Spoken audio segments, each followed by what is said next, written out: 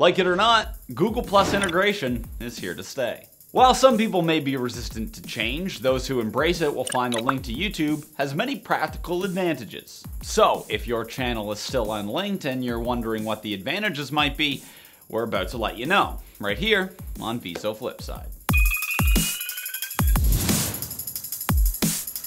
If when you first made your YouTube channel, the name you picked wasn't so great, your options to change it were pretty slim. Until now. Luckily, Google Plus allows you to do just this. You can change your name, make it look more official, and less messy. Once your YouTube channel and Google Plus page have been linked, you can choose to share your videos publicly or privately, depending on the circles you choose. However, all public uploads will automatically appear in the YouTube tab of your Google Plus page. One key feature, especially for business accounts, is the ability to assign different managers to the same YouTube channel without having to share passwords. Additionally, your channel will now be enabled for free live streaming through Google Plus Hangouts on air.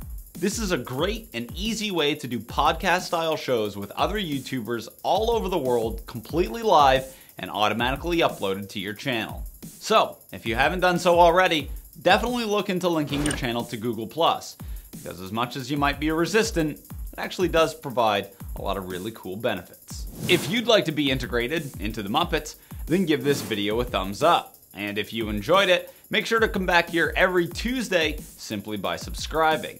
Until next time, thank you very much for watching. My name is Peter Brown, and I'll catch you on the flip side.